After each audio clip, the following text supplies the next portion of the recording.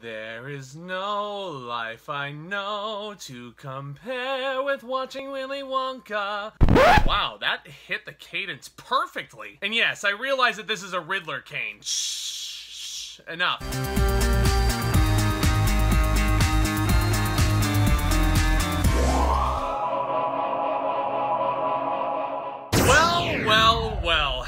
Doing, ladies and gentlemen? Welcome back to the channel, and welcome to a very, very special movie review today. I thank you so much for clicking on the video first off. I really hope you enjoy your stay, but guys...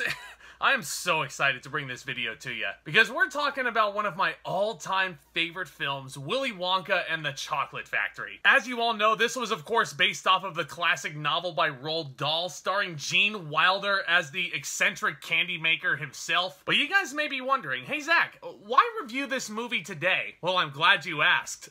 Today is this film's 50th anniversary! Holy hell, where did all the time go? And this film follows a sweet boy named Charlie Bucket from a poor family who dreams of finding one of five golden tickets. And these things are hidden inside chocolate bar wrappers, which will admit him to the eccentric and reclusive Willy Wonka's magical factory. Which, you know, of course he finds the golden ticket. Where have you been? Yeah, in case you couldn't tell, this video is gonna be filled with spoilers. So just in case you've never read the book, never seen the movie, I fairly warned you, we're gonna geek out about this movie today. Because this honestly is, and I'm not even joking when I say this, I do think this is one of those movies that you should all watch before you die. Just like any ordinary candy bar, Willy Wonka and the Chocolate Factory really is that good, and it had such a huge influence on me wanting to get into the entertainment industry as a kid. Yeah, this isn't gonna be one of your ordinary reviews, guys. I'm gonna be gushing about this film quite a bit. This movie is directed with so much energy by Mel Stuart. The musical numbers are all choreographed to perfection.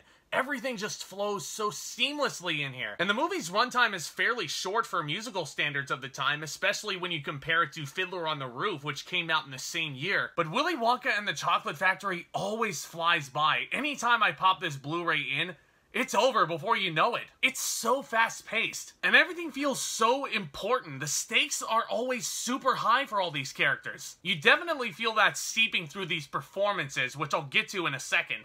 But while I'm on the subject, I gotta talk about these songs because they're just damn near perfect songs. Let's just say that this was nominated for Best Original Score at the Oscars for damn good reason. Just go and listen to them again. They're all so memorable too. You got the Candyman can, I Want It Now, the Oompa Loompa lessons. The list goes on and on. And I will admit, I have used pure imagination for a few auditions here and there. And I gotta say, on this rewatch, I...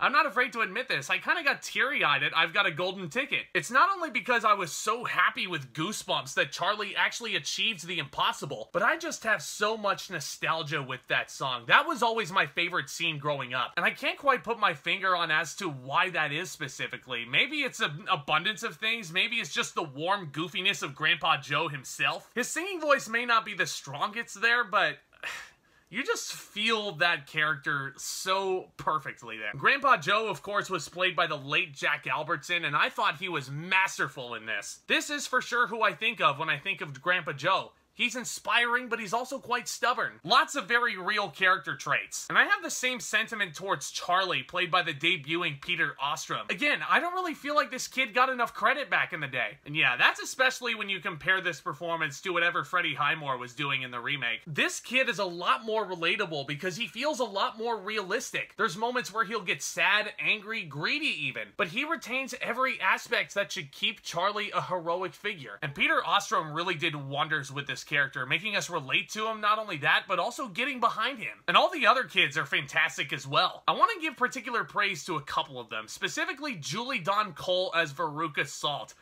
My god, just the right amount of snooty, and Roy Kinnear submitting to her every demand was just, it's glorious chemistry. I'm wanting now! You know who else I don't think gets enough credit for his work? Paris Themmen as Mike TV. He had a lot of dialogue and he had to spout it off at breakneck speed. I can only imagine what would have happened if Mike TV grew up. Maybe he becomes a TV or movie film critic on YouTube. But last but not least, guys, you can't go on with a Willy Wonka video without talking about Gene Wilder's Golden Globe nominated turn. Now, I know a lot of people love his work in the Mel Brooks material like Blazing Saddles, Young Frankenstein, but Wilder, rest in peace, I would argue this was your greatest performance. Wilder really got to explore so much range with this character. Willy Wonka himself is truly an enigma. You never fully understand what's going on in his slightly demented brain until the last possible moment. There's so much range. He can turn from a showman and a wisecracking tour guide, and then he can turn into someone resembling a Bond villain. Yeah, if you guys need further proof, go watch that Tunnel from Hell sequence. He's pretty goddamn demented. There's no knowing where we're going. I mean, just an absolutely flawless, flawless performance. How about all these set pieces, too?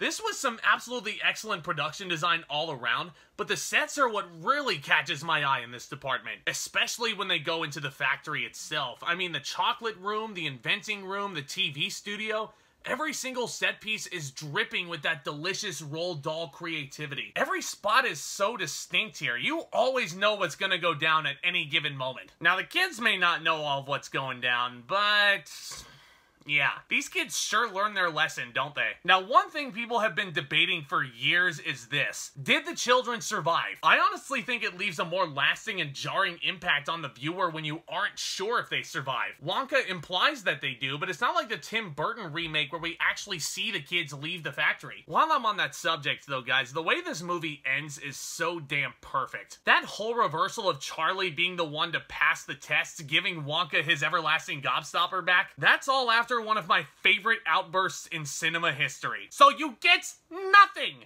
You lose!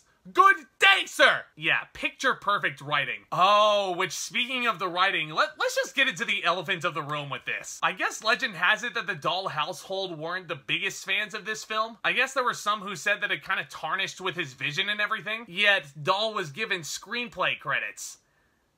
Uh... And, and then they go on to say that they prefer the remake. Now, I always want to respect other people's opinions, but that's just wrong in that case. The original film is by far and away the superior film. And you want to know why? No, no, no, no, no, no, no, no, no, no.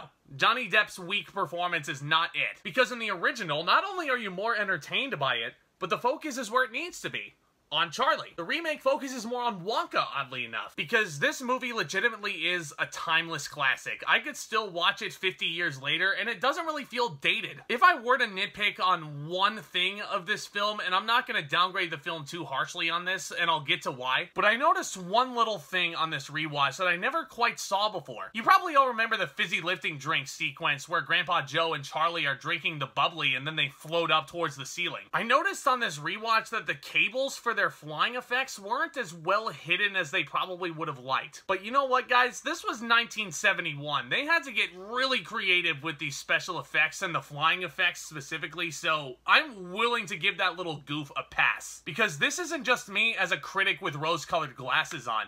This film really is an instant classic. Happy 50th anniversary. This is one of my all-time favorite films for damn good reasons. I'm absolutely giving Willy Wonka and the Chocolate Factory an A plus.